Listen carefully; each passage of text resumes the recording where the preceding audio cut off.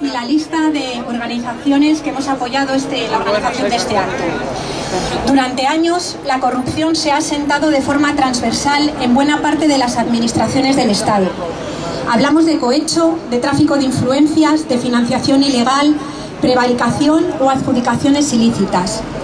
Mientras los medios de comunicación ponen el acento en el cobro de sobresueldos de políticos, lo que denunciamos nosotras y nosotros es la presunta obtención de millones de euros en dinero negro que se repartían cargos y políticos del PP.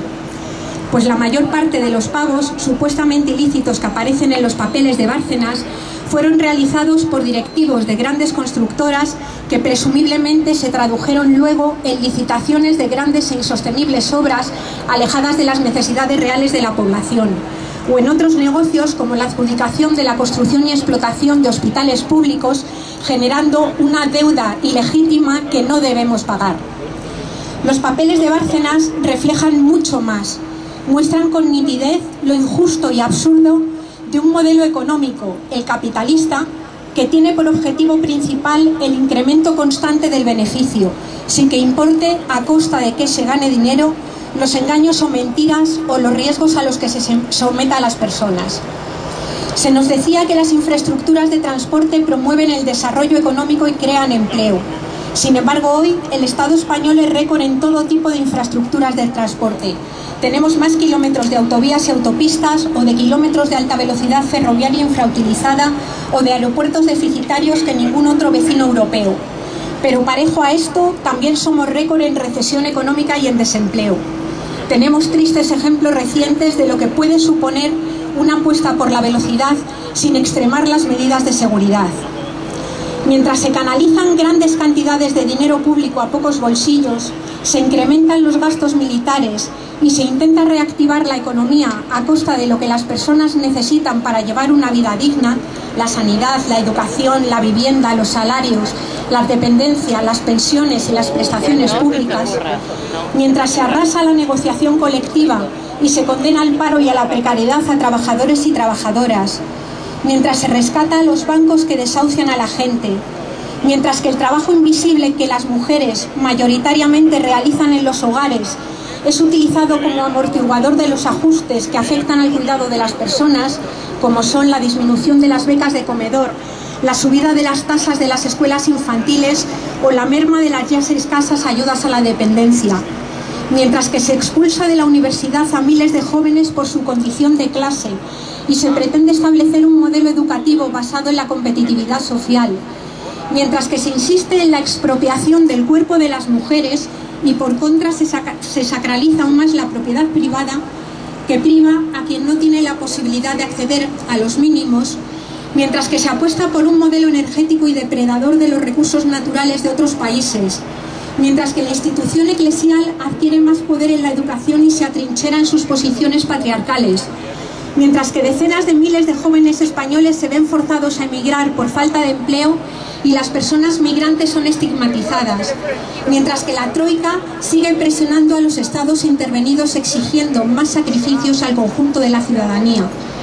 Mientras sucede todo esto, vemos cómo son indultadas personas delincuentes de cuello blanco, implicadas en delitos de fraude al fisco, son sobreseídos o anulados casos de corrupción y malversación de fondos públicos de políticos de distinto signo. Las personas imputadas en estos casos ni siquiera llegan a defender su inocencia, sino que se escudan en la prescripción de sus delitos o en errores de forma en el procedimiento. La ciudadanía de este país está harta. Sabemos que no estamos ante un caso de corrupción puntual, sino ante el problema de un sistema corrupto, por lo tanto, necesitamos darle un vuelco a esta realidad. Y esto abarca distintas estrategias. Cambios en los modelos de producción y reparto de la riqueza, inicio de procesos constituyentes de base popular en los distintos niveles del Estado, alentar la autogestión y la autoorganización, repensar una práctica política de soberanía popular que conforme amplios bloques sociales que respeten la diversidad, tomar conciencia de la ecodependencia y finitud de los recursos naturales, valorar y repartir los trabajos vinculados a la reproducción humana y social, y también conseguir que el marco normativo del derecho esté al servicio de los intereses comunes y que no sea un artilugio manipulable por quienes se enriquecen a costa de la explotación y el expolio de la mayoría. Por ello creemos que defender esta querella es también parte de la defensa de la regeneración democrática de la organización social. Es uno de los instrumentos de la sociedad civil para señalar a los presuntos acreedores de las arcas públicas, que nos permite visibilizar con claridad cómo se sostiene un sistema que se encuentra en, en franca descomposición. Por ello, no debemos consentir movimientos y trampas que no tienen otro fin que obtener la nulidad del caso Bárcenas o su prescripción. Hemos leído en la prensa informaciones sobre abogados que ofrecen tratos al extesorero para que no hable, intentos de maniobras en instancias judiciales que podrían viciar de nulidad el procedimiento judicial, promesas de cambios de ministro, el fantasma del caso Naseiro, aquella otra historia de tesoreros y financiación irregular que acabó en, nulidad, planea en la actualidad. Nos toca demostrar que estamos alerta, que no admitiremos tretas o amaños judiciales para que una vez más queden impunes los responsables de derrobar al pueblo. Esta lucha es parte imprescindible de ese cambio global que necesitamos simplemente para poder vivir con dignidad. Nulidad es impunidad, Gobierno, dimisión.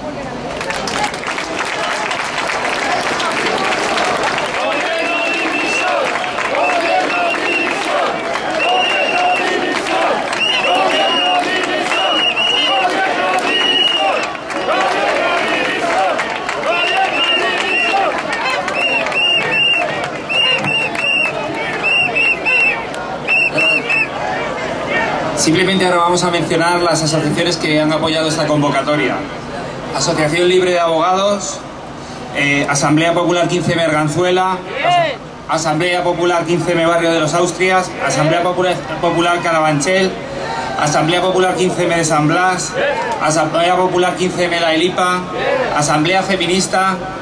Asociación de Vecinos Independiente de Butarque, Asociación de Vecinos Parque Europa, ATAC, CGT Confederal, Comisión Legal Sol, Corriente Roja, Cristianos por el Socialismo, Cristianas y Cristianas de Base, Ecologistas en Acción, Federación Los Verdes,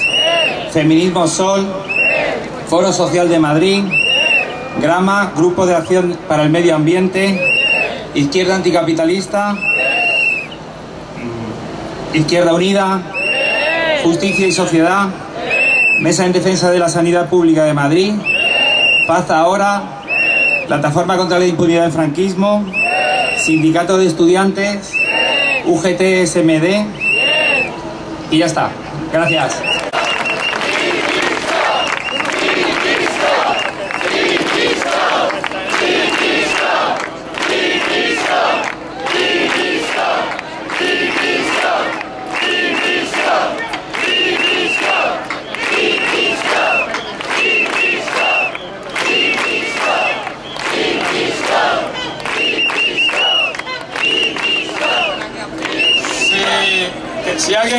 No podemos desgraciadamente intervenir todo